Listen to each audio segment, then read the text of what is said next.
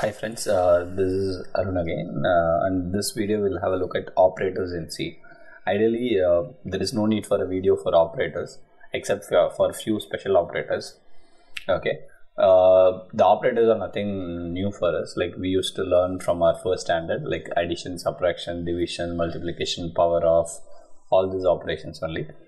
Uh, it starts with the basic operation and there are some special uh, operation which will help you to ease your job which is specific to the programming language. It's not only for Java, C, C. The same thing applies for any programming language like the operators plus plus and minus minus and unary operator binary operator bitwise logical operator.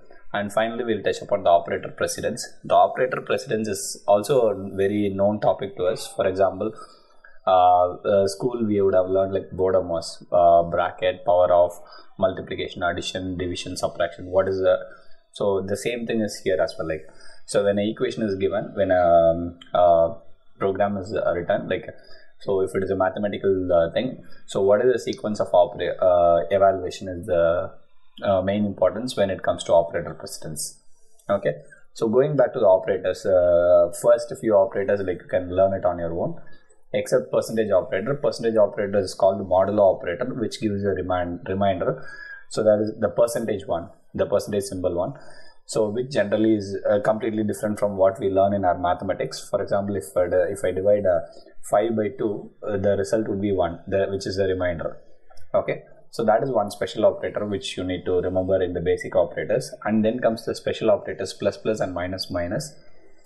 Uh, the plus plus and minus minus are nothing but like it's an increment operator increment and decrement operator they call us so when you use that like whatever value uh, currently the variable holds would be incremented by 1 if it is a plus plus uh, let's assume a plus plus finally it ends up as like a plus 1 a equal to a plus 1 that's how it finally goes on. And coming back to the unary and binary operator is unary operator works on a single uh, um, variable. Whereas binary works with two like a plus b it conjunctions the two things and bitwise operator that's a whole lot topic altogether. We'll look at it in detail later. Okay let's go back to the code and start uh, playing around with like so this video is a very short video. So uh, except uh, the main focus into this uh, special operators.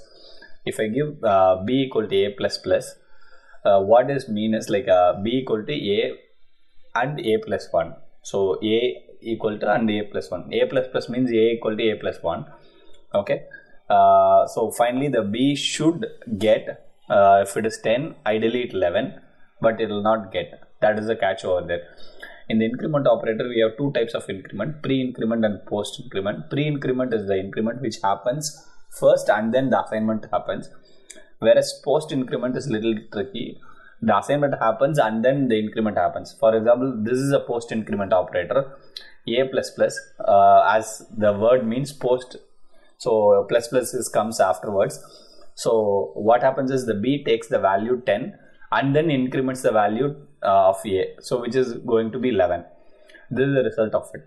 So this is the tricky part which you need to understand that if the same thing is uh, sitting in the before like b equal to plus plus a both the guys will have the same value b will be 11 and a will be also 11 uh, the reason is it has incremented and put the value over there.